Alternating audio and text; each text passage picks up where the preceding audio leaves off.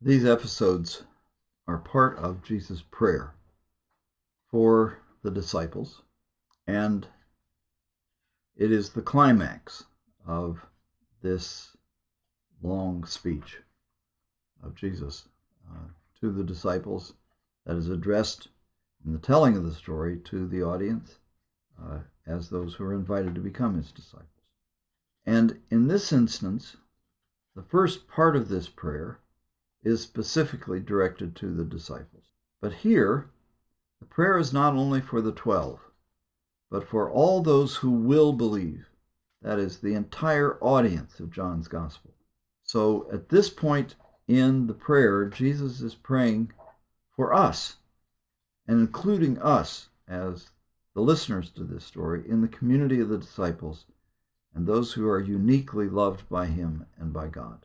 Now, the prayer of Jesus is that they may all be one. And this is the theme of the first episode.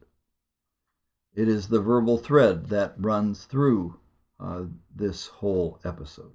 So the phrase, I ask not only on behalf of these, but also on behalf of those who will believe through their word, that they may all be one. And in the final sentence of the episode, then, that they may be one as we are one, I and them and you and me, that they may become completely one, so that the world may know that you have sent me and have loved them even as you have loved me. Now, if you recognize this verbal thread, that they may all be one, it will enable you to learn this episode easily. Now, what this is about is that there clearly were divisions within the community of the followers of Jesus in the first century. It happened almost immediately. This is reflected in Acts 15 and the controversy over the inclusion of Gentiles in the church in Acts 15. But the prayer of Jesus is that they may all be one just as he is one with the Father. Now, the purpose of this oneness is not mystical union and joy. The purpose of this oneness is that the world may believe that God sent Jesus. And also, in the second episode, the purpose of the giving of Jesus' glory to them is that they may be one, and that the world may know that God has loved them and that this love is potentially present for everyone, that they may be completely one. So, the purpose of Jesus' glory is then that there is a oneness, a unity in Christ's glory and in God's love. The prayer is that they may be one, and the second part of the prayer is that they may be with him and see his glory. Now, this is an incredible prayer.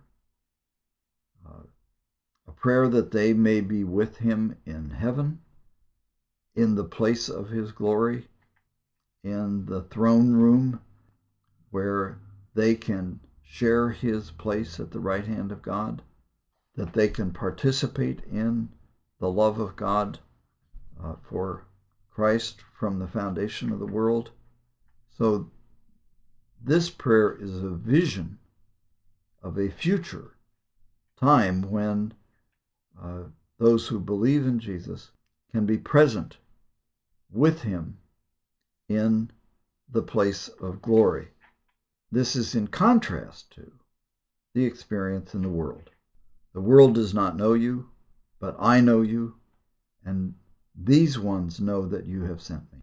And so the purpose of Jesus making God's name known, and that he will make it known in the future, is that the love with which you have loved me may be in them and I in them. So Christ's prayer is that his love will be in us, and that we will know it now and in the future. It's a kind of prayer for a oneness of love at a kind of cosmic level, encompassing all time, from the beginning to what will be in the future. And the purpose of this is that God's name may be made known as Christ has made it known and will make it known in the future, so that the love of God can be experienced by everyone. The prayer is then for a, a complete oneness, a unity in love, a oneness, a togetherness in love that joins uh, those who have believed, those who have been part of Jesus' community. But this is also an extension of that community that reaches out and is an invitation to everyone who hears this story to enter into this relationship of intimate love uh, with Jesus, with God.